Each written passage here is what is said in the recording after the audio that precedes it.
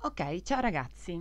Allora, ehm, continuiamo le nostre lezioni sul calore e in particolare, vi ricordate quelle due formule che avevo dato sul calore? Cerchiamo di aggiungere qualcosa in più e faremo un esercizio leggermente più complicato. Una prima precisazione. Vi ricordate la formula Q uguale m per c per delta t? Dove m era la massa, c calore specifico e delta T era la variazione di temperatura. Bene, questa formula la usavamo quando una sostanza veniva riscaldata o raffreddata, quindi quando c'era un delta T. Ora definiamo un'altra grandezza fisica, la capacità termica, come il prodotto di m per c. Che cosa significa capacità termica? Qual è la sua definizione? È il calore necessario per far variare di un grado centigrado o se vogliamo di un grado Kelvin una certa sostanza. Quindi sostanzialmente questa formula potrebbe anche essere riscritta come Q uguale capacità termica per la variazione di temperatura. Ve lo dico nel caso in cui negli esercizi troviate, non so, dato un corpo di capacità termica e vi danno eh, la capacità piuttosto, anziché darvi magari la massa e il calore specifico. Ok, Vediamo un esercizio un pochino più complicato. Sempre sull'equilibrio termico. Che cosa facciamo? Mettiamo adesso dentro il nostro recipiente del ghiaccio e dell'acqua. Precisamente ghiaccio ad esempio a meno 5 gradi e dell'acqua a 30 gradi. Questi due si scambieranno calore ed è evidente che l'acqua che a 30 gradi cederà calore al ghiaccio che quindi lo assorbirà. Il, e mm, sicuramente raggiungeranno un equilibrio termico, come quando mescolavamo dell'acqua con, ad esempio, un metallo. Dove sta il problema? Il problema è che eh, c'è un passaggio di stato in mezzo. Perché? Il ghiaccio è a meno 5, l'acqua è a 30. Che cosa potrebbe verificarsi? O che il ghiaccio fonde oppure che l'acqua solidifichi. Questo in base chiaramente al valore della massa e al valore della temperatura, reciproche. A meno che nel testo non dicano esattamente quello che succede, cioè tipo, non so, dicono calcola la temperatura di equilibrio ehm, in cui dopo che tutto il ghiaccio si è fuso, sapendo di avere acqua alla fine, diciamo che noi non possiamo essere sicuri a priori che tutto il ghiaccio si è fuso ed è diventata acqua. Quindi bisogna fare sostanzialmente una stima. Ecco, eh, come facciamo a stimarlo. La stima che dobbiamo fare è sostanzialmente questa. Dobbiamo calcolare quanto calore serve al ghiaccio per fondere completamente e nello stesso tempo quanto calore l'acqua riesce a dargli prima di congelare a sua volta. Ora, perché io stimo che tutto il ghiaccio si fonda? In base a cosa lo decido? Beh, vedo che ho solo 10 grammi di ghiaccio, mentre ho 500 grammi di acqua. Inoltre io so che l'acqua ha anche una grande inerzia termica, quindi è difficile raffreddarla velocemente. Per cui io mi immagino che tutto il ghiaccio riesca a fondere. Però lo immagino, non ne sono sicura, è solo la matematica che può aiutarci. Allora facciamo il calcolo.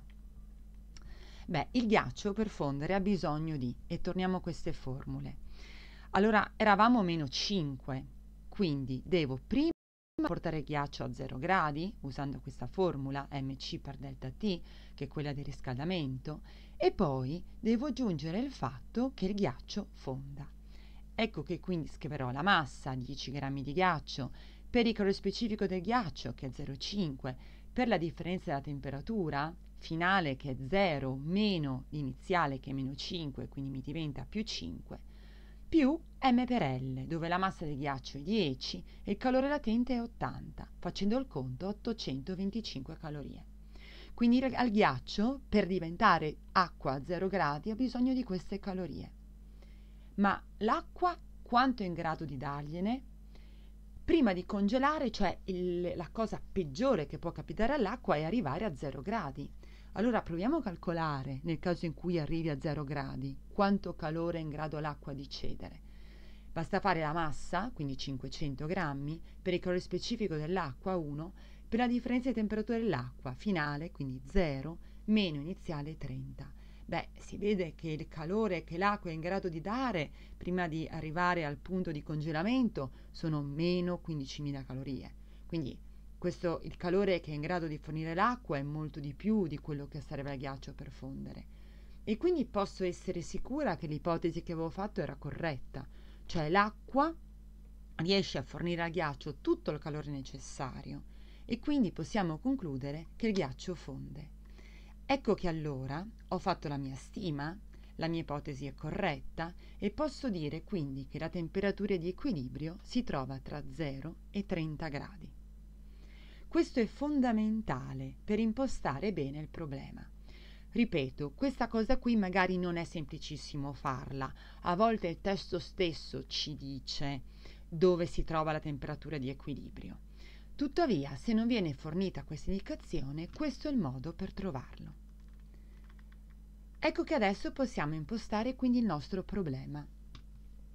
Allora, l'impostazione si fa nel modo canonico, cioè io dico che il calore che il ghiaccio assorbe, assorbito del ghiaccio, eccolo qui, è uguale a meno il calore ceduto dall'acqua.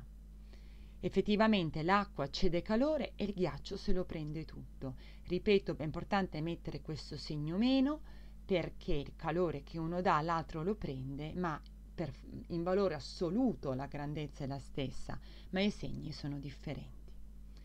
A questo punto però devo arrivare adesso alla complicazione. Dove sta?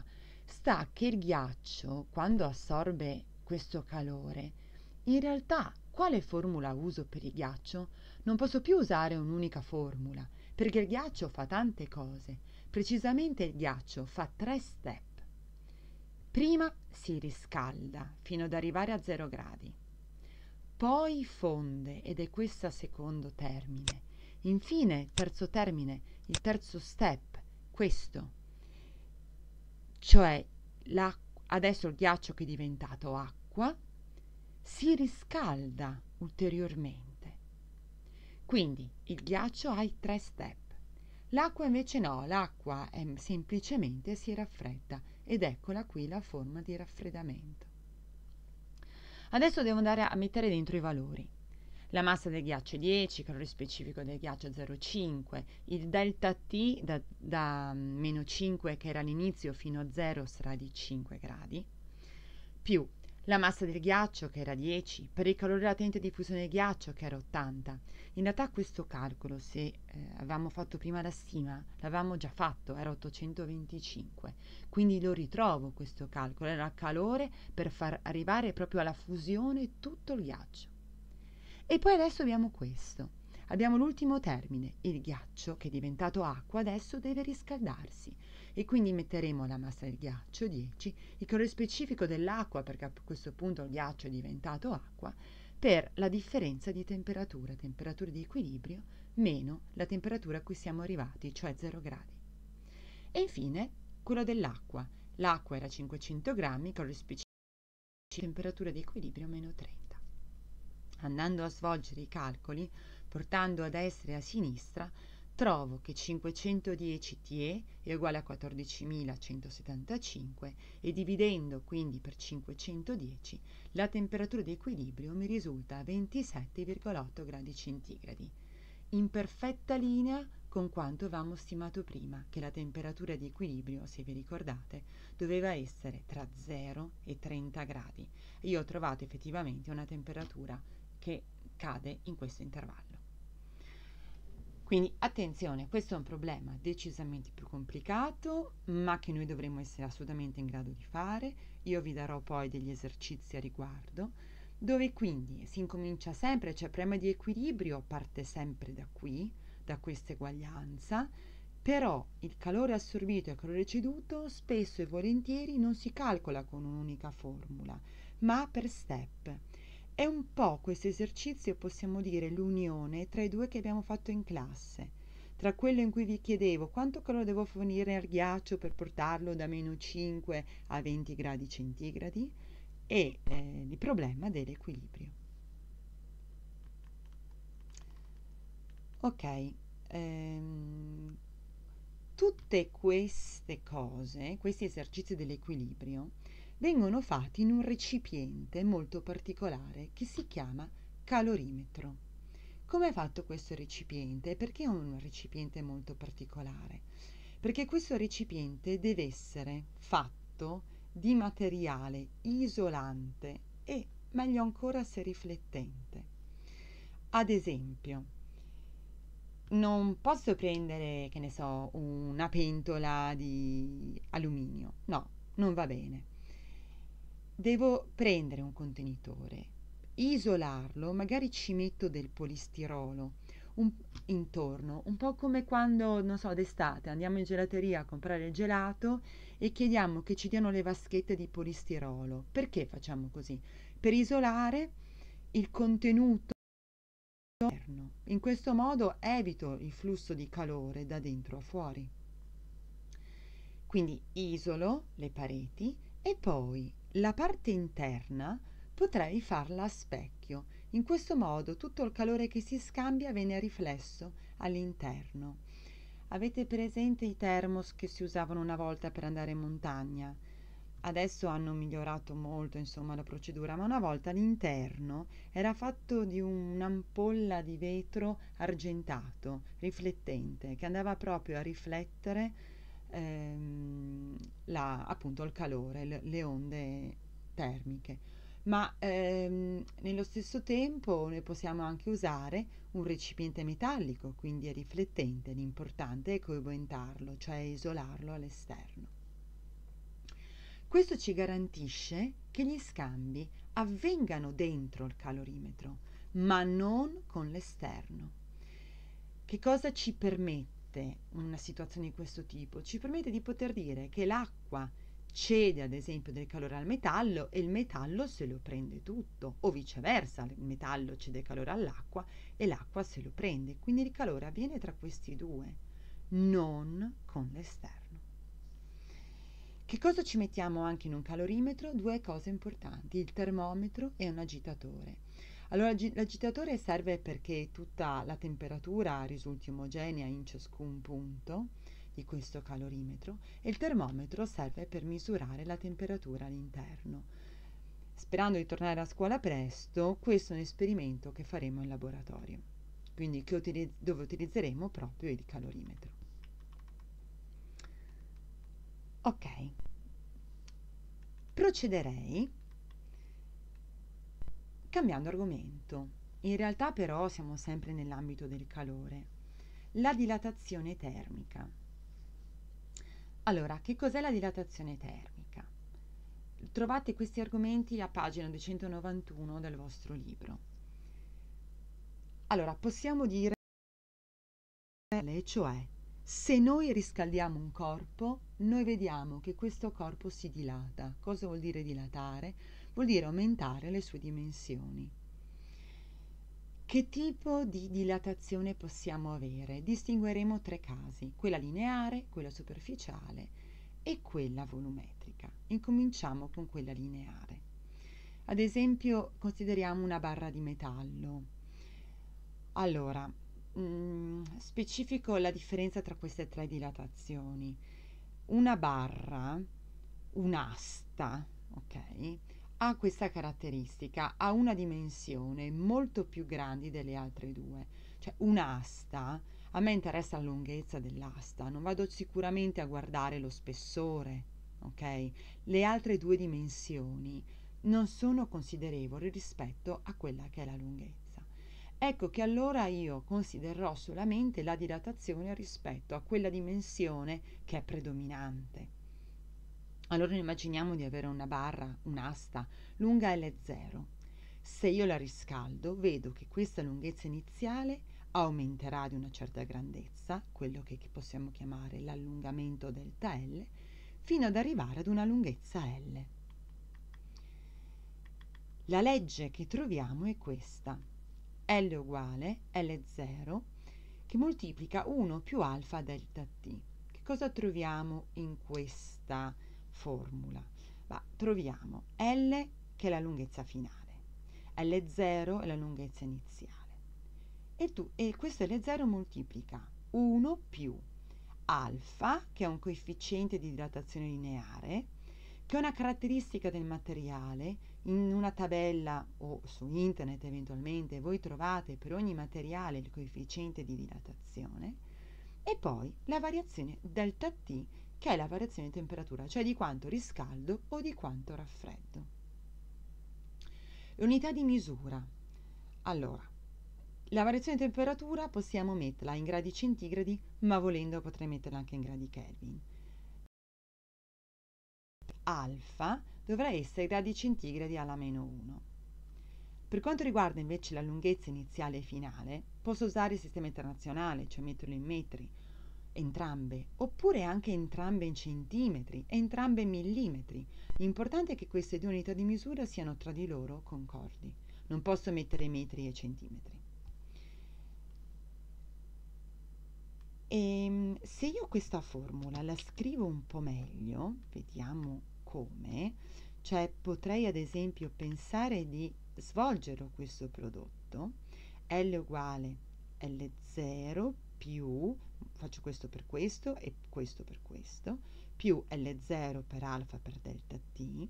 Adesso porto a sinistra L0, quindi vedo L meno L0, uguale L0 per alfa per delta t posso scrivere che delta L è uguale a L0 per alfa per delta T.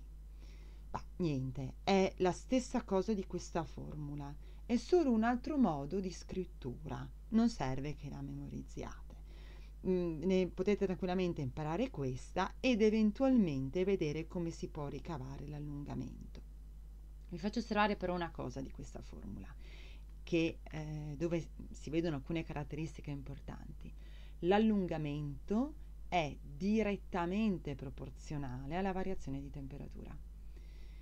E questo è estremamente importante. Adesso poi capiremo anche perché lo è. E mm, vi faccio osservare anche un'altra cosa. La variazione di lunghezza, il delta L, potrà venirci fuori di segno positivo o negativo a seconda del segno di questo delta T. Cioè, se la temperatura aumenta, quindi avremo un delta T positivo, anche il delta L sarà positivo. Cosa significa un delta L positivo? Significa che la lunghezza finale sarà maggiore della lunghezza iniziale. Beh, come la interpreto? Chiaro, se io riscaldo, la barra delta L positivo. Se invece sto raffreddando, quindi ho un delta T negativo, allora anche il delta L sarà negativo. Risultato, la barra si è contratta, si dice, cioè è diventata più corta. La lunghezza finale è minore della lunghezza iniziale. Per fortuna, questa formula, questa legge, è la stessa anche se siamo, vi faccio vedere velocemente, poi ci torniamo, che io parli di dilatazione termica superficiale, è la stessa, guardate, precisa, cambia solo un coefficiente, ma non cambia niente. E anche per quella volumica, volumetrica, ok? È la stessa cosa, è la stessa espressione. Quindi in realtà basta che voi ne memorizziate una, la prima, quella della dilatazione lineare. Dopodiché Consideriamo le lunghezze, metto LL e qui metto il coefficiente di dilatazione lineare. Consideriamo la superficie, al posto di L metterò S S0 e qui metterò il coefficiente di superficie. Considero il volume, metterò V e V0 e qui metterò il coefficiente di dilatazione volumica o volumetrica. Vediamo un attimo.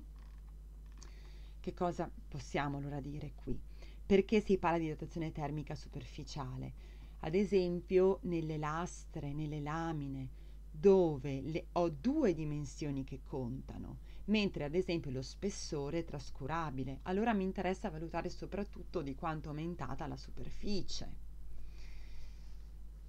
Cosa, un'altra cosa interessante è che il coefficiente di dilatazione superficiale, quello che io qua ho chiamato beta, in realtà altro non è che il doppio di alfa. Questa si trova, noi in realtà non lavoreremo tantissimo con questa, vi faccio vedere invece quest'altra che è molto importante, quella della dilatazione volumica, volumetrica. Guardate, la formula è la stessa, V uguale V0, 1 più, questa volta scrivo gamma delta T, dove volumica. E V e V0 sono rispettivamente il volume finale e il volume iniziale. Anche qui gamma è tre volte alfa, è come se stessi considerando alfa che eh, moltiplicato le tre dimensioni sostanzialmente, mentre in quello superficiale questo beta era l'alfa moltiplicato per le due dimensioni che andavo a considerare. Perché è più importante questo? Questo lo si trova molto spesso questo succede quando tutte le dimensioni sono rilevanti, quindi ad esempio ho un cubetto, un cubo ha tutte e tre le dimensioni significative. Ma non solo, c'è un altro caso ancora molto più importante, questo qui, i liquidi. I liquidi non hanno una dimensione, non hanno neanche due dimensioni, i liquidi hanno un volume, quindi per i liquidi noi parleremo solo e esclusivamente di dilatazione volumica, è l'unico è l'unico tipo di idratazione per i liquidi. Ecco, um, e qua vi ho scritto appunto che per i liquidi esisterà solo il gamma, quindi in internet o sul libro, nelle tabelle, voi troverete il gamma solo esclusivamente dei liquidi. Invece, per quanto riguarda tutti i solidi, voi dovrete prendere il vostro alfa e per trovare beta e gamma farete rispettivamente per 2 o per 3. Ecco, ehm, volevo solamente fare una puntualizzazione. Eh, vi ricordate quando vi ho parlato del termometro? Noi nel termometro abbiamo detto alcune cose un po', le abbiamo date un po' per scontate. Ci abbiamo detto che il termometro a liquido era fatto da un bulbo e da un tubicino di vetro trasparente per vedere appunto il colore di questo liquido. In questo, avevamo ipotizzato fosse mercurio, ma non ha nessunissima importanza. E avevamo detto che all'aumentare della temperatura la colonnina di mercurio saliva. Ecco, si dava per scontato in realtà una cosa, questa, che in questo caso avevo fatto vedere la formula per l'allungamento, è direttamente proporzionale alla variazione di temperatura. Ma in realtà io questa cosa che ho detto per l'allungamento lo posso dire per la variazione di volume, perché la formula è la stessa. Cioè la variazione di volume del liquido, del mercurio, è direttamente proporzionale all'allungamento. Che cosa significa questo? Significa che quando io vado a costruire un termometro, do per scontato che la, l'innalzarsi mio, del mio livello di mercurio, quindi l'innalzamento del volume di mercurio, è legato alla variazione di temperatura in un modo direttamente proporzionale. L'andamento è appunto lineare. E quindi posso tranquillamente fare mio punto di 0 gradi centigradi, il punto di fusione del ghiaccio, Posso andare a mettere nell'altro punto particolare il punto di ebollizione dell'acqua, 100 gradi centigradi, e posso suddividere questo intervallo in parti uguali, proprio perché dico che il volume aumenta in modo direttamente proporzionale all'aumento di temperatura.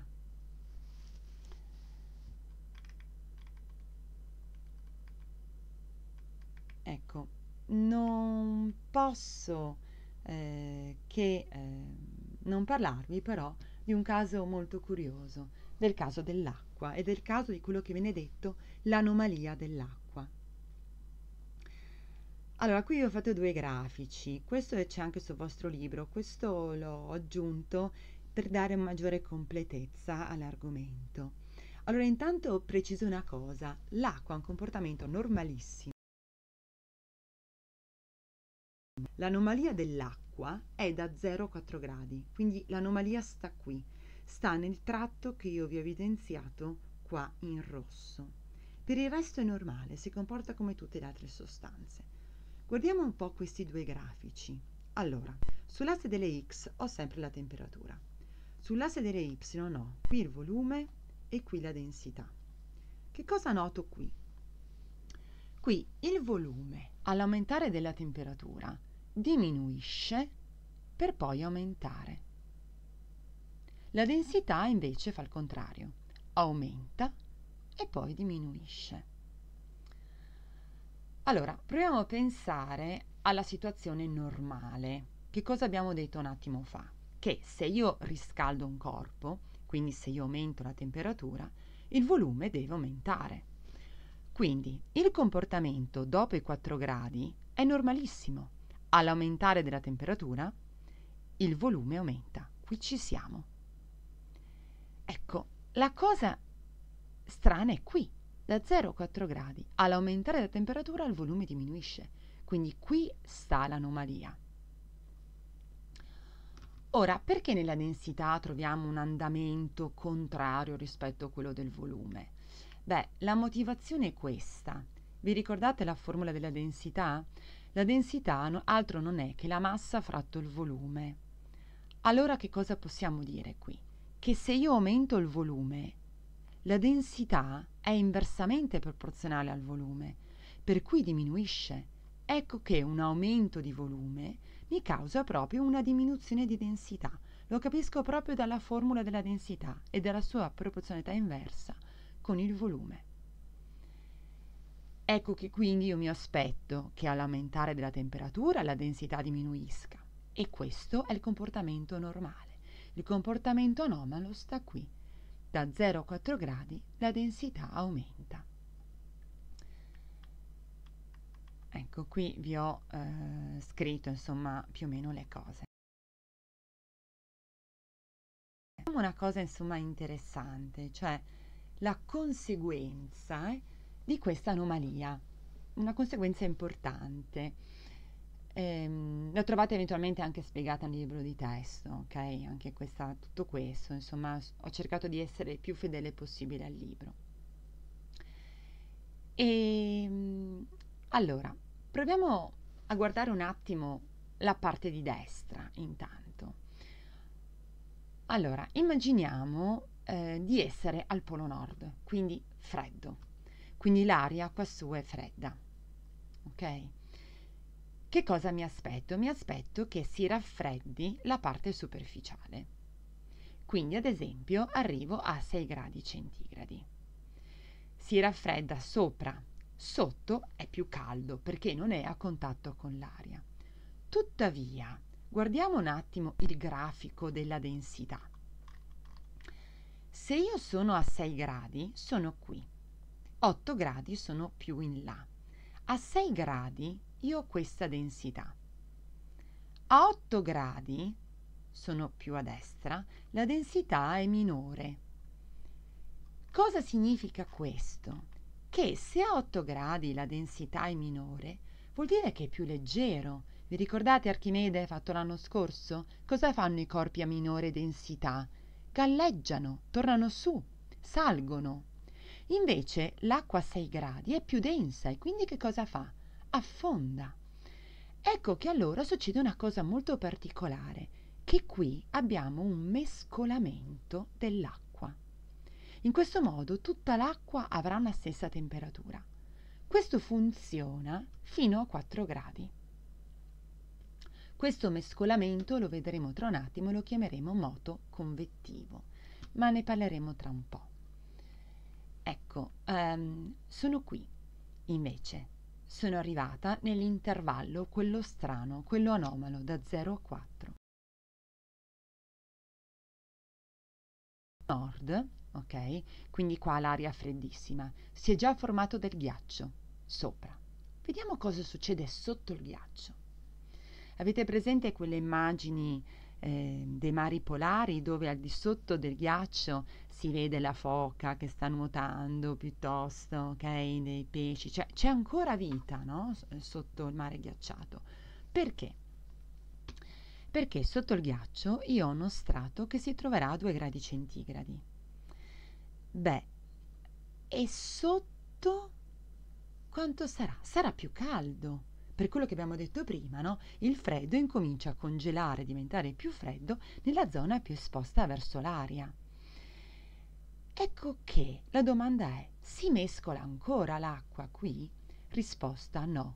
Qui non abbiamo più il mescolamento. Perché? Riguardiamo il grafico della densità. Allora, a 2 gradi sono qui, ok? A 4 gradi sono qui. Quindi a 2 gradi, che sono, scusate, che sono qui, d'accordo? La densità a 2 gradi è minore che quella a 4 gradi. Cosa significa allora? significa che a 2 gradi è meno densa e quindi galleggia, non scende. A 4 gradi è più densa, resta sotto. Quindi qui non si mescola. Che cosa significa allora? Significa che avremo una temperatura dell'acqua stratificata. Quindi io ho ghiaccio, poi un grado, due gradi, tre gradi e poi la, tutta la parte sotto si troverà tutta a 4 gradi e questa cosa permette appunto la vita nel mare, eh, nei mari polari. Ok, questa è la prima parte. La seconda vi faccio un altro video così non diventa troppo pesante. A tra poco. Ciao ragazzi.